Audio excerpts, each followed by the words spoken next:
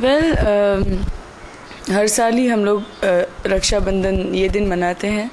और जो मतलब तैयारियाँ होती है जैसे कि मिठाई देन राखी देन uh, जो हम टीका लगाते हैं तो वो सारी चीज़ें ऑफ़ कोर्स और मैं यहाँ पे आई हूँ मेरे भाई के घर पे यहाँ पे मैं आती हूँ हर साल आई मीन पिछले दो साल से आ रही हूँ। वेल well, ये तो मतलब ये एक ऐसी चीज़ है जो सब लोग काफ़ी सदियों से आई वुड से मनाते आ रहे हैं।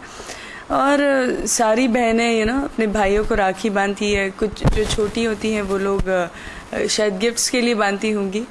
और ये ये जो रिश्ता, ये मतलब सारे रिश्तों से, ये रिश्ता बहुत ही डिफरेंट है यू नो एक भाई बहन का रिश्ता।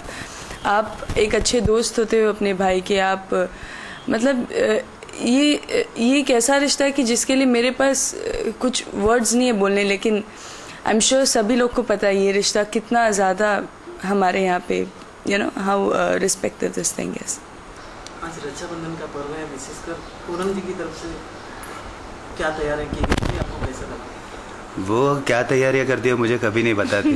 वो अचानक में एकदम सारी तैयारियों के साथ ही आ जाती है रक्षाबंधन के दिन। No, you, you. What did you do? हाँ मैं मेरी तो तैयारी हमारी तैयारी तो सिर्फ़ खरीदारी What करनी did होती you है what? Yeah, yeah. खरीदारी करनी होती है यहाँ वहाँ क्या गिफ्ट लेना है क्या देना है मुश्किल होती है थोड़ी पर हो जाता चल रहा है पूनम जी की सफलता के बारे में आप क्या सोचते हैं मैं बहुत खुश हूँ अच्छा है इतनी तरक्की कर रही झूठ है बोल रहा है जा रही झूठ बोल रहा है वर्ल्ड कप के टाइम पे ही वाज रियली एंग्री तो कौन? होता है पर टाइम के साथ साथ सब हाँ, पर मैं खुश हूँ इसकी तरक्की देख के।